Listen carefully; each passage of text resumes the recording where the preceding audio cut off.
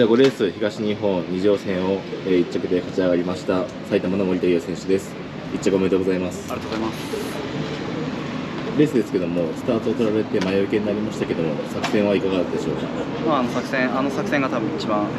けるかなと思ったんで、はい、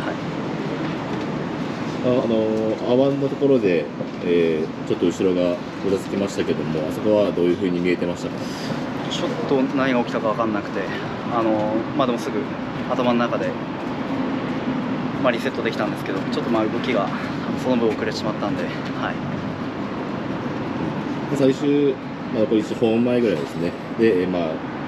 まくりに行ったと思いますけども踏み出した感触などはいかがでしょうか？ちょっと体が浮いてしまったんで、あのちょっと力みがかなりあるなっていう感じです。バックスバック手前で、まあ、落車があったと思うんですけどそこはどうでしたかね？接触とかは特にはないと思います。はい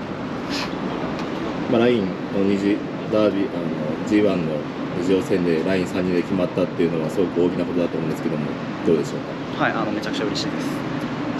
では、えーこの後準決勝に向けて意気込みをよろしくお願いしますはい、あの準決勝もあの自分のレースしっかりしてあの決勝に上がれるように頑張ります。